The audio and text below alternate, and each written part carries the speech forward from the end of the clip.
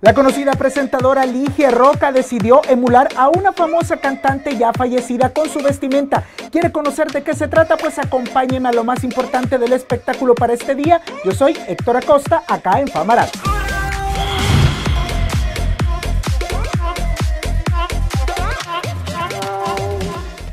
Iniciamos este lunes de Famosos Nacionales con la tierna foto de la pareja del momento, Larisa Vega y su novio Víctor López, quienes disfrutaron de una escapada a la playa. Aquí vemos a Lari al natural, muy guapa por cierto, al lado de su amado.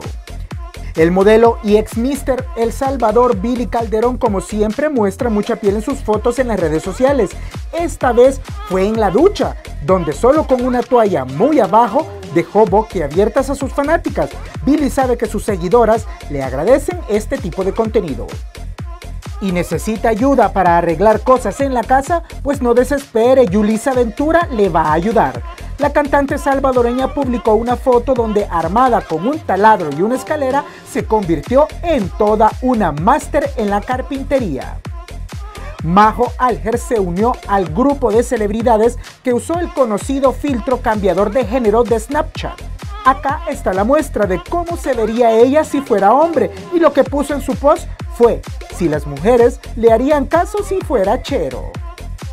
¿Y cómo se mantiene en forma doña Olga Miranda? Pues la conocida presentadora dedica parte de su tiempo a la cocina y como vemos también hace pilates una muestra de que no hay edad para mantenerse en forma.